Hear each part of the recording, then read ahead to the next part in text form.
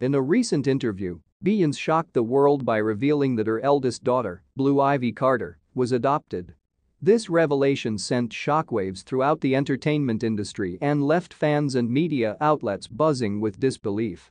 However, it is important to approach this topic with sensitivity and respect, as adoption can be a deeply personal and emotional journey for all involved.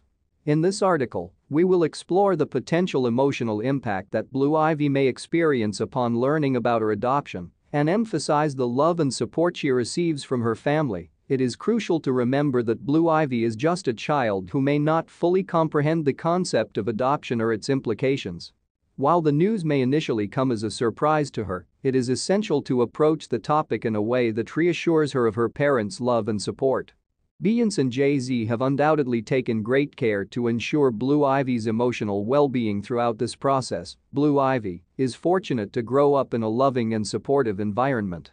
Beyonce and Jay-Z have always prioritized their children's happiness and well-being, and this revelation does not change that.